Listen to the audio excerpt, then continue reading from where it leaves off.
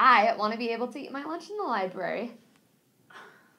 I think there should be a place dedicated where you can work quietly and also eat in the library. I would add more parking.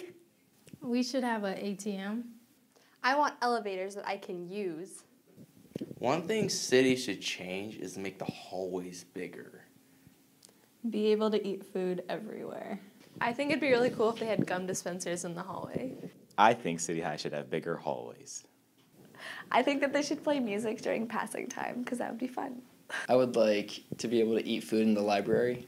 A bigger parking lot. Um, I would want the sign language to be offered as a foreign language. Yeah. I would change so that freshmen couldn't park on campus. Being able to eat in the library. Better Wi-Fi. If I could change one thing, it would be the bathroom sinks on the second floor because you can't have multiple people washing their hands because there's not enough water coming out. I would definitely change the bathroom stalls because, for one, you can't even lock the bathroom door, and for two, when you try to wash your hands, it just doesn't come out. The water is just stuck. I would add snack stations all around the school so if you could get snack any time of the day. I would make the parking lot easier to navigate. I would have air conditioning in the gym. More charter bus usage. Better food in the lunchrooms.